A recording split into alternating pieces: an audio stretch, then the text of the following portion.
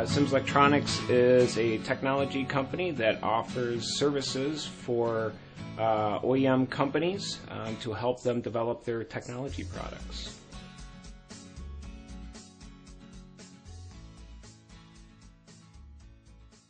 Uh, we have taken on a, a, a pretty large project. Uh, this project was started about two years ago, and it is a energy management and automation system.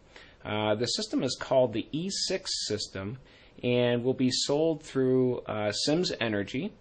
Uh, the product will basically be able to provide energy monitoring tools, which include water, gas, and electricity, and also provide you the automation control for your lighting, uh, for your heating and cooling, and for your irrigation.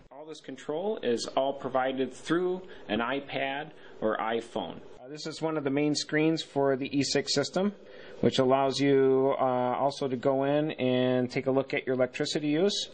Uh, this screen is actually showing us what our use is in the uh, office today. So this is this is an example of the climate control, which uh, basically replaces your thermostat.